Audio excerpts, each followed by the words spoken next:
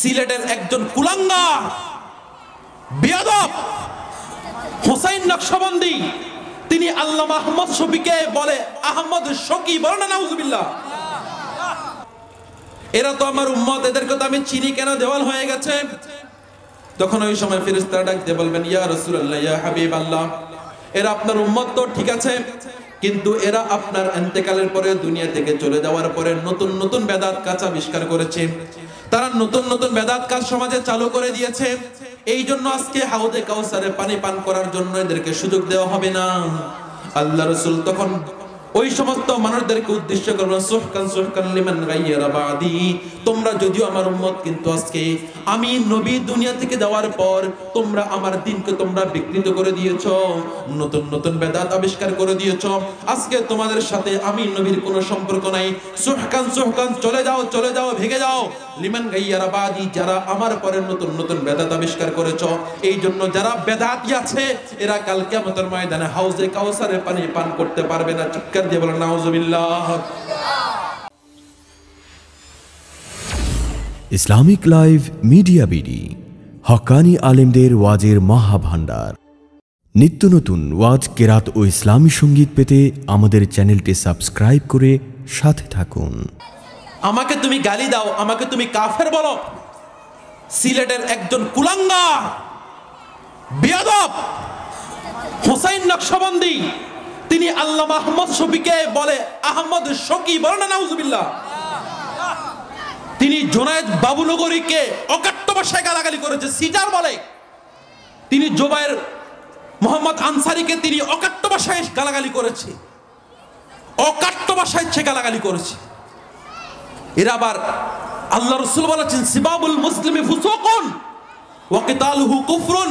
বলে একজন মুসলমানকে গালি দেওয়া হলো ফাসিকের কাজ। আর তারা বড় বড় আল্লাহর অলিদেরকে তারা গালি দিচ্ছে। আল্লাহর অলিদেরকে তারা গালি দেয়। চিন্তা করে দেখেন, এরাই হলো সুন্নি আজকে আমাদের সমাজে। এই জন্য নাম দেখে কিছু হয় না। আমাদের সে এখন নামে আর কাজের সাথে কি নাই? মিল নাই। এই জন্য আসাবুদ্দিন আল্লাহ ছোট্ট গ্রামের তিনি একটা গজল বানাইছেন, নামে কামে মিল না থাইলে বুঝা বড় দায়।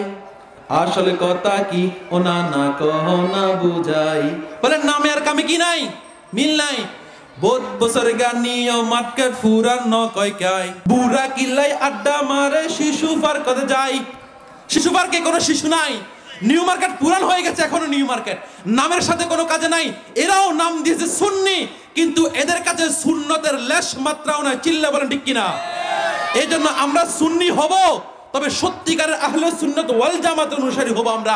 তথাকথিত সুন্নি নয়, শুধুমাত্র বারোই রবিল আউ্বাল আসলো, কিছু মিছিল করলাম, মিটিং করলাম, কিছুক্ষণ সিন্নি খাইলাম, এরপরে পুরা বারো মাস আর সুন্নতের সাথে সম্পর্ক নাই। এমন সুন্নি হইতে রাজি আছি? এমন সুন্নি হইতে আমরা রাজি নাই।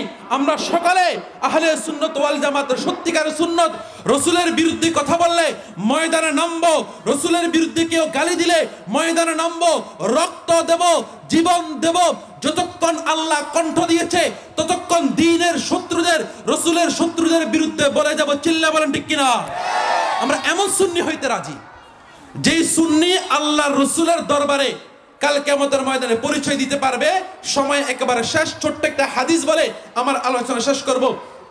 যারা যারা নতুন নতুন বেদাত আবিষ্কার করেছে, যারা নতুন নতুন বেদাত আবিষ্কার করেছে, তাদের ব্যাপারে আম্মাদান আয়েশা রাদিয়াল্লাহু তাআলা থেকে একটা হাদিস রসুল্লাহ সাল্লাল্লাহু আলাইহি সাল্লাম বলতেছেন, কাল কিয়ামতের ময়দানে হাউজে কাউসারের সামনে আমি বসবো। আমি অপেক্ষা করব। আমার উম্মতদের জন্য। আমার উম্মতেরা আসবে। হাউজে কাউসারে পানি পান করবে, কিন্তু কতগুলো মানুষ আসবে? আমার সামনে আসবে, কিন্তু একটা দেয়াল হয়ে যাবে। মধ্যখানে দেয়াল। বলে, আমি ফেরেশতাদেরকে বলব, এরা তো আমার উম্মত, এদেরকে তো আমি চিনি, কেন দেওয়াল হয়ে গেছে? তখন ওই সময় ফেরেশতারা ডাক দিয়ে বলবেন, ইয়া রসুল্লাহ ইয়া হাবিব আল্লাহ এরা আপনার উম্মত তো, ঠিক আছে, কিন্তু এরা আপনার এন্তেকালের পরে, দুনিয়া থেকে চলে যাওয়ার পরে নতুন নতুন বেদাত কাঁচা আবিষ্কার করেছে। তারা নতুন নতুন বেদাত কাজ সমাজে চালু করে দিয়েছে। এই জন্য আজকে হাউদে কাউসারে পানি পান করার জন্য এদেরকে সুযোগ দেওয়া হবে না। আল্লাহ রসুল তখন ওই সমস্ত মানুষদেরকে উদ্দেশ্য করব সুহকান সুহকান লিমান তোমরা যদিও আমার উম্মত, কিন্তু আজকে আমি নবী দুনিয়া থেকে যাওয়ার পর তোমরা আমার দিনকে তোমরা বিকৃত করে দিয়েছ, নতুন নতুন বেদাত আবিষ্কার করে দিয়েছ।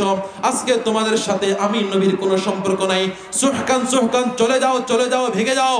লিমান গাইয়ারা বাদি, যারা আমার পরে নতুন নতুন বেদাত আবিষ্কার করেছ, এই জন্য যারা বেদাতি আছে, এরা কাল কিয়ামতের ময়দানে হাউজে কাউসারের পানি পান করতে পারবে না। চিৎকার দিয়ে বলেন, নাউজুবিল্লাহ। এছাড়া আরও বেদাত যারা কাজ করে, এদের অনেকগুলো। এদের ব্যাপারে হাদিসের মধ্যে আল্লাহ রসুল বলেছেন, সময় শেষ, এই জন্য আমি আর বলতে পারতেছি না। এই জন্য আপনাদের হাতে পায়ে ধরে বলি। কেউ যদি বলে, আমার পায়ে ধরলে আমি বেদাত কাজ ছেড়ে দেবো, তার পায়ে ধরতে আমি রাজি আছি। বেদাত কাজটা ছেড়ে দেন, বেদাত কাজটা ছেড়ে দেন। কোরআন, হাদিস এবং সাহাবাই কারামের মতের উপর, পথের উপর আমরা সকলে চলার জন্য চলার চেষ্টা করব। আল্লাহ ফাকরাবুল আলমিন আমাদের সবাইকে চলার জন্য তৌফিক দান সকলে বলে, আমিন। নিত্য নতুন ওয়াজ, কেরাত ও ইসলামী সংগীত পেতে আমাদের চ্যানেলটি সাবস্ক্রাইব করে সাথে থাকুন।